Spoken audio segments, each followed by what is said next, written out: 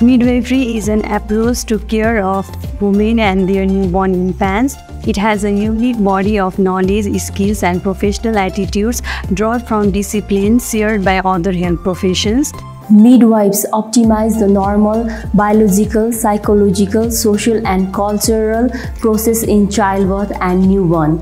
Midwives follow midwifery model of care in collaboration with other health professionals as necessary to provide holistic care that meets each woman's individual needs.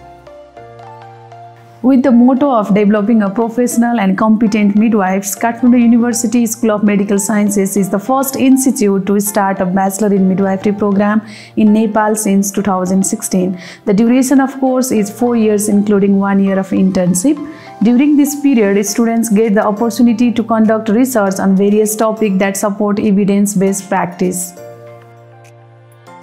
The greater the similarity of the scenario and simulation laboratory to real life, the more likely the learners will suspend reality and behave as if they are in an actual clinical situations. Fortunately, we have Nepal's very first simulation lab, which provides immersive learning experience for healthcare practitioners and students. We have realistic looking clinical simulation lab rooms, mannequins, and equipments, allowing learners to practice and develop clinical expertise without any risks to the patient. Here, we apply our theoretical knowledge in carefully created hands-on scenarios that mimics various clinical situations. Through these simulation-based learnings, we can develop our skills and gain competence. We have antenatal OPD independently run by nurse midwives. Here, we provide care based on the midwifery model of care. We provide different services like antenatal counseling, antenatal classes, and formal and informal health educations. We have an on-site midwifery-led birthing unit. Here, we provide continuity of care autonomously following the principle of respectful maternity care. We provide competent and evidence-based care to a woman through her antenatal period, assist in her childbirth and follow up till her postnatal period. We support women and her family in a care of newborn and help the woman in adjustment to her new parenting role. We provide different formal and informal health education regarding postnatal care, newborn care, breastfeeding, family planning, and so on.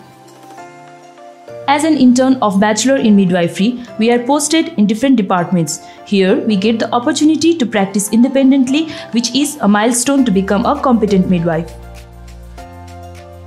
We also get the opportunity to conduct workshops based on the evidence to provide quality care.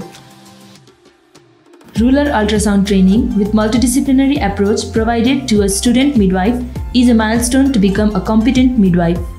Posting in the rural areas has been a great asset in our learning. It made us more confident and competent in understanding the cases and making appropriate decisions. We were able to apply our learning and training in those areas and provide them with quality care.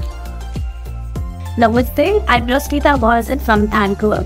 First class of Master in Midwifery graduated from Kathmandu University. Currently, I am working at Paropakar Maternity and Women's Hospital, Thapathali. The knowledge and skill I acquired from university has been very helpful to provide care to and baby and managing companies. I am very proud to be part of this great organization.